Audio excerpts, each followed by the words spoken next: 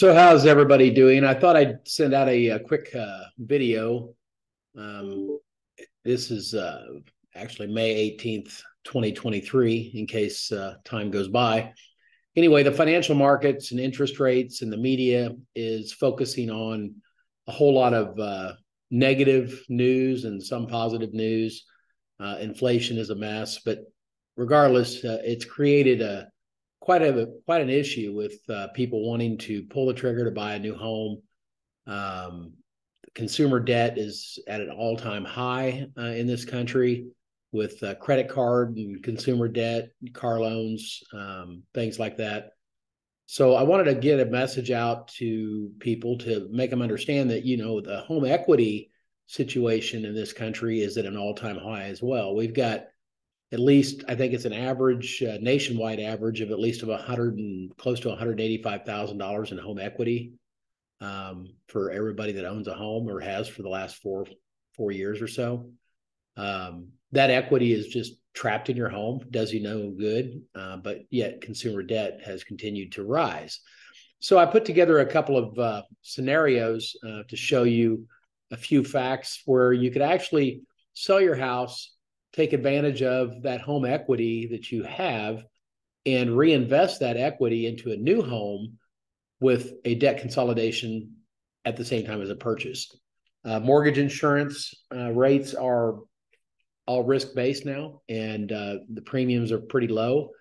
So if you take and you buy a larger home with a 5% down payment, your payment may go up slightly over your overall um, um, monthly expenses but using a, uh, a rate calculator showing you your blended rate with credit cards and uh, consumer debts, uh, you may be better off uh, financially to buy even at even at a higher rate and give up your lower rate that you've had on your house for the last three or four years. So, um, wanted to put this together. Um, it's a great way for you to actually help the housing market yourself by uh, allowing more um, homes that are affordable uh, for the first time buyers and stuff so that you can move up into your uh, newer home um, at a higher rate and eliminate a lot of uh, interest expense. So let me get into showing you that and uh, we'll see if it makes sense. Okay, so take a look at this uh, blended rate calculator. I can go through a scenario specifically to you um, if you want me to. Um, be more than happy to do that. Um, I just chose uh, somebody that had a two hundred thousand dollar mortgage, currently paying three and a quarter percent interest on their mortgage, uh, twenty thousand dollars worth of uh, credit card debt at a twenty one percent interest rate, um, a ten thousand dollar credit card at a twenty four percent interest rate, uh, fifty thousand dollar in auto loans at around a six percent interest rate, um, and then another credit card for $10,000 at 21% to come up with a blended rate and a total uh, amount of indebtedness of $290,000 for 6.276%. So current rates today are close to 6.75. They're they're starting to trend down a little bit. Um, but with that being said, you do have uh, an opportunity to take that extra money that you've got in your equity pay off all of your monthly debts and then go buy a larger home and put 5% or 10% down, depending on how much money you've actually been able to capture. Um, I put together a few scenarios um, for a 400,000, 450 and a $500,000 uh, home loan purchase um, with uh, with an interest rate of 6.75. I didn't include any taxes or insurance into this scenario uh, because it, it kind of skews the numbers a little bit. Um, I wanted to show you the actual cost of of the mortgage with the mortgage insurance and the interest. So um, if you look at these, you got a payment of thirty one sixty a one for the five hundred thousand dollar home, and a payment of twenty five twenty eight a one for a four hundred thousand dollar home, and you also have no uh, consumer debt at that point. You're paid off.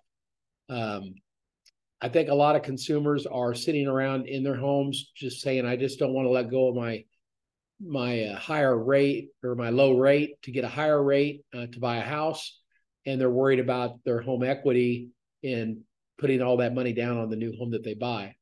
I can tell you that interest rates fluctuate. They've been fluctuating. I've been in the business over 30 years and they've fluctuated as high as, you know, eight and a half to nine percent with during my career. Um, and all the way down to like two and a half percent. So rates go up, rates go down. Right now, they're pretty much peaked at the top. So I can guarantee you, if you go buy a new home, your rate is going to be temporary.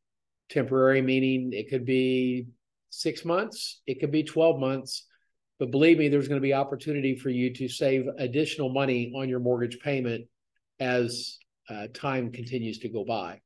So if you're interested in, in going over some scenarios, um, I do have some programs uh, to help you um, understand what kind of home equity you do have uh, through a system called HomeBot. Be more than happy to, to show you that system and enroll your home in that system to take a look.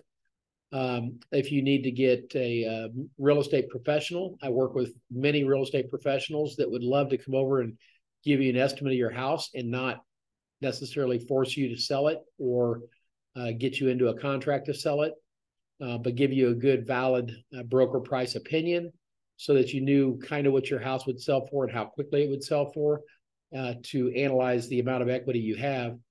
And at the same time, we can look at uh, figuring out a way to get you um, out of debt. The best way to retire um, is through home equity and wealth, but only if that money is working for you. So consumer debt will just eat away at your at your retirement, um, especially if you've got large uh, minimum monthly payments that you got to make that are not necessarily paying down on that debt um, so that you can start building that home equity and be able to use that home equity uh, for future investment and uh, retirement. So um, I'd love to help you out. Just wanted to get this out. Uh, maybe you might be interested in in pulling the trigger sooner. Um, once interest rates do start going down and everybody jumps on the bandwagon to buy a house, it's going to be a, a, a frenzy of uh, buyers with with limited supply, which is going to continue to cause prices to go up and up and up. So